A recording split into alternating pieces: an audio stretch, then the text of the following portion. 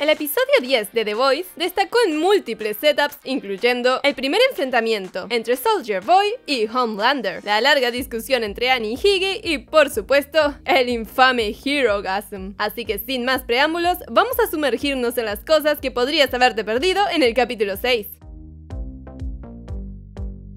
Hablemos de lo más notorio y comencemos con el tan esperado debut en la pantalla de Hirogasm. Evento demasiado explícito para mostrarlo en YouTube. Gran comienzo para un video, ¿eh? En el show vemos un montón de supers poco importantes, la mayoría de los cuales son aparentemente parodias de personajes de X-Men como Iceman. Probablemente este video va a ser pura censura porque no puedo mostrar casi nada de esto. El Hirogasm es bastante infame en los cómics e incluso consiguió su propia miniserie de 6 números en 2009 es un evento de una semana donde los héroes de Vogt de todo el país asisten solo con invitación y se encuentra en una isla tropical muy remota. Al igual que en el show, básicamente todo va como una noche de solteros en Las Vegas y los supers se meten en una serie de actividades. A pesar de que el programa no se aleja exactamente de lo que ocurre, no estaba claro si el evento aparecería o no en el show, ya que fue visto por algunos como algo muy extremo incluso para The Voice. Y hasta el actor de Homelander, Anthony Starr, ha dicho que no lo verá de nuevo, pero el programa finalmente decidió llevar a Hirogasm a la pantalla. También actúa como telón de fondo para el primer enfrentamiento entre Homelander y Soldier Boy, y eso es debido al encuentro que los dos personajes tienen entre sí en el evento. En los cómics, Homelander realmente se acostó con Soldier Boy, prometiéndole un lugar en The Seven a cambio, pero mi conjetura es que eliminarán esa historia del programa.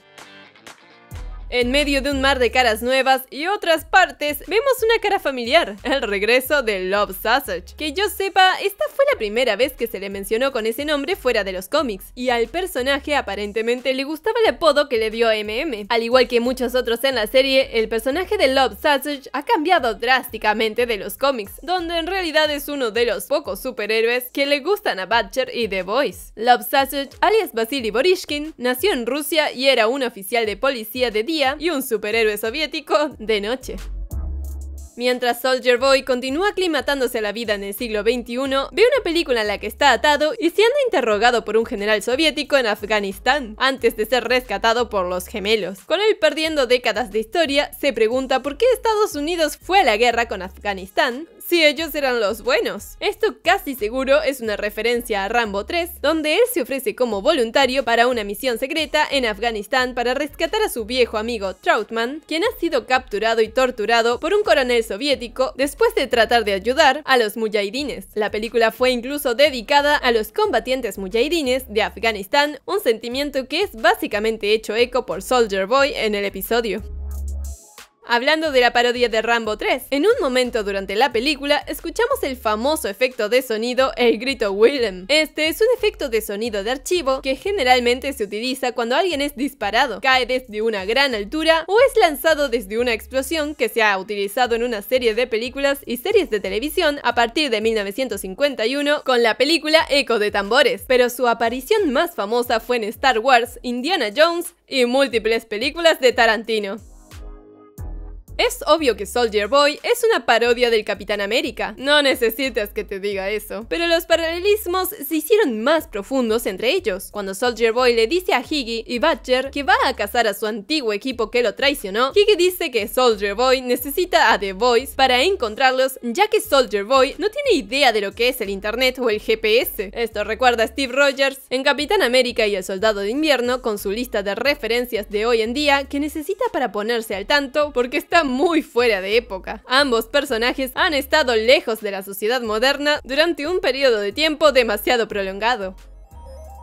Siguiendo los paralelismos de Marvel, mientras Soldier Boy se enfurece, la radiación captada en el contador Gauger sube. Y por supuesto, cuando las emociones de Soldier Boy lo superan, literalmente todo explota. Todo esto se siente como Hulk, dependiendo de los enojos. Además, la escena donde MM menosprecia a Soldier Boy y este le dice fríamente, ¿cuál? Después de que MM le dice que mató a toda su familia, es una reminiscencia de la escena de Guardianes, donde Drax se enfrenta a Ronan y le dice que mató a su familia solo para que Ronan no lo recuerde.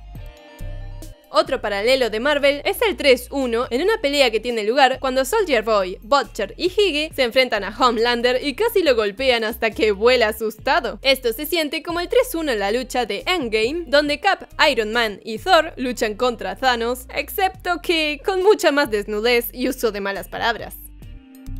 Hablando de referencias de películas, sin embargo, la escena en donde Homelander habla con la persona que ama más que nadie, él mismo, se siente muy parecida a la escena donde Gollum habla con su reflejo manía con el Señor de los Anillos. E incluso el trabajo de cámara desorientador es el mismo, ya que el Homelander más fuerte trata de convencer al Homelander más débil de que todo estará bien. Además, los problemas de los padres de Homelander estaban en exhibición en la casa, ya que el reflejo Homelander se refiere al otro como mi hijo, lo que indica que Homelander todavía anhela esa figura paterna, incluso si es el mismo.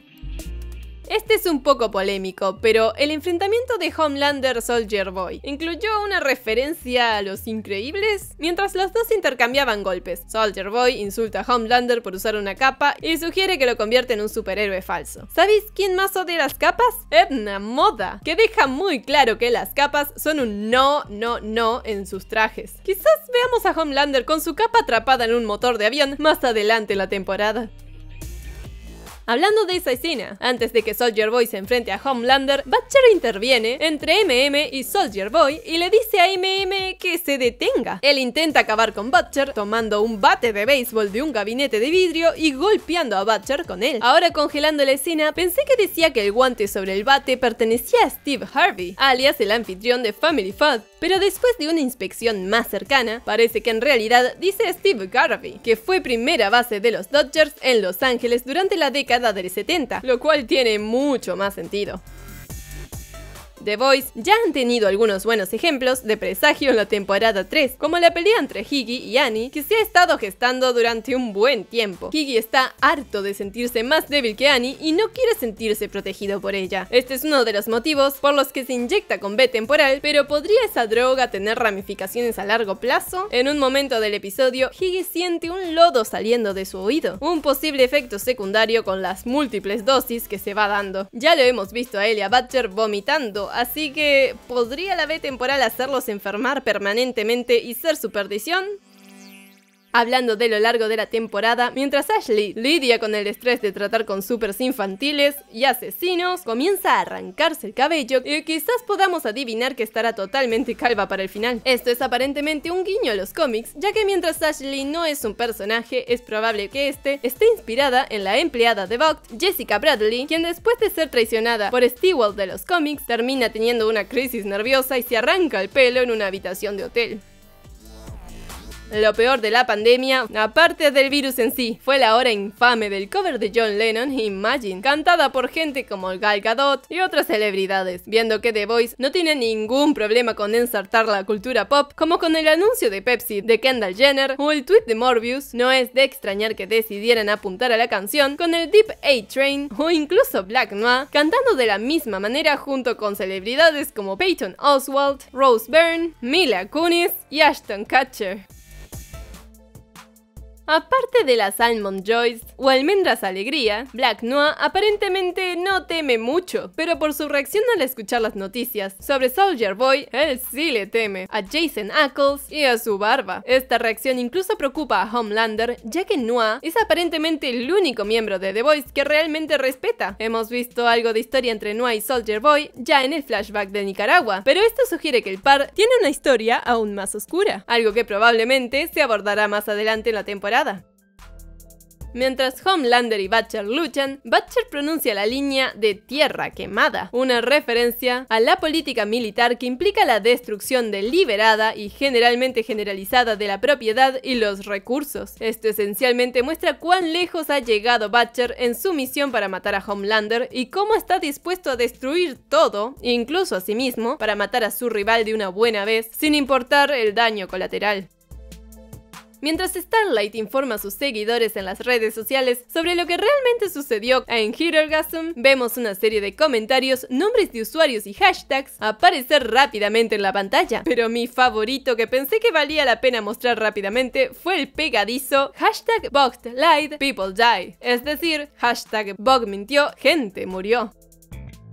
Un tropo de película que vemos es cuando Soldier Boy le dice a Higgy que no es un mal tipo, lo que esencialmente confirma que es un mal tipo. Esto dicho por un personaje se ha utilizado en varias películas como la red social.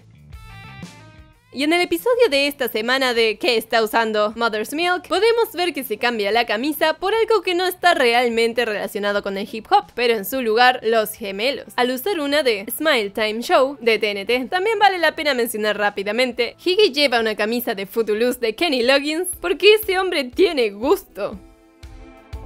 Si les gustó el video dejen sus comentarios y denle me gusta. No se olviden de compartir con sus amigos y suscribirse para más videos. Gracias por ver.